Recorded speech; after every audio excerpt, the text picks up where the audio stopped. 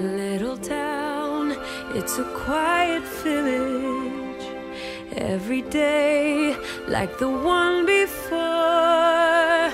Little town full of little people waking up to say. Bonjour. Bonjour. Bonjour. Bonjour. There goes the baker with his tray, like always. The same old bread and rolls to sell.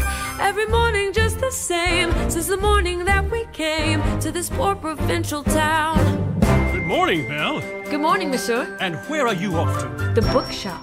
I just finished the most wonderful story about a beanstalk and an ogre. That's and nice. Marie, the baguettes. Hurry up. Look, there she goes. That girl is strange, no question. Dazed and distracted, can't you tell?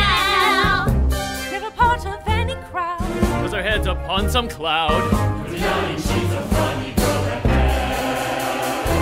Bonjour. Good day. How is your family?